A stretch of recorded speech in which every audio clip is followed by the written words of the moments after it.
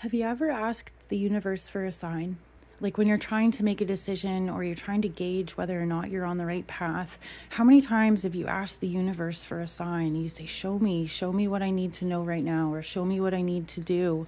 Well, what's really interesting about the quality of time is that because today is a full moon lunar eclipse, the karmic return is amped up the response from universe if you want to ask a question if you want to ask for a favor if you want to ask for truth to be revealed the response time is really really really fast right now. It definitely feels like the veil is a lot thinner. Our ability to connect with our guides our angels or those who have passed over is is really really facilitated during this quality of time. But eclipses also bring times of propelled action or um, exponential change that, you know, if you feel like you've been up against a brick wall or struggling with lack of clarity, lack of insight, lack of an idea of what your next best steps are, it is often right around an eclipse that all of a sudden everything clicks. And everything clicks into place today when it comes to health, wellness, inner peace, and wisdom because the eclipse, the moon is in Pisces, which is an ethereal water sign associated with old souls, a higher level of understanding, spiritual connection, psychic abilities. And the sun is in Virgo, which is all about health and wellness.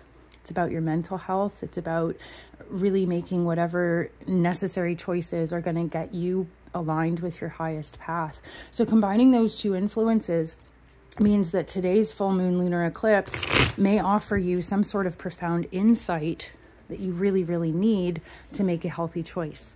And the best way that we can possibly use this transformative energy is to look at the truth with eyes wide open. Sometimes the energy of Pisces causes us to avoid things or be reluctant in our willingness to face things head on. So that's the risk today is just not wanting to see the truth.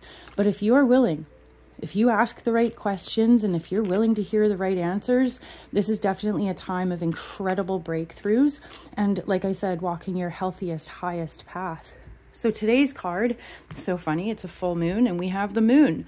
The moon is associated with the zodiac sign Cancer and a really deep level of emotions. Here we see a domesticated dog and a wild wolf. So this is a lot like that phrase, you know, which wolf are you feeding? The wolf of love or the wolf of fear. The moon card is associated with our deepest emotions, including fear, including the awareness that there are multiple sides of us. There's going to be the side of us that lives in the light, and we also always have a shadow side, and we can never get rid of either one. Both sides of the coin are representations of our complete and united being. So in the moon card, we are offered a point of initiation a point of recognition as we face our fears, accept ourselves, love ourselves, and walk a path of healing, you know, like the road less traveled. And the moon illuminating the road, the path, is about listening to your intuition and following the guidance of spirit. So, today, on today's full moon lunar eclipse, I hope you find the breakthroughs that you're looking for. I hope you make the healthy choices that will help you feel healthy, balanced, and in tune with your entire being. So, one of the things that might come up is the feeling that maybe I have to hide parts of myself around certain people.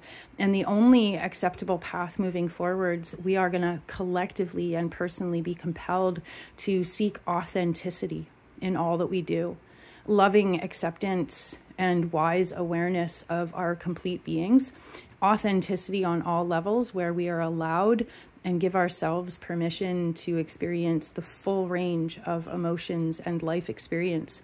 So I've got full-length detailed horoscopes on my YouTube channel where I give a really in-depth review about how the astrology, the quality of time right now is going to affect you personally. So you should definitely go check out my YouTube channel.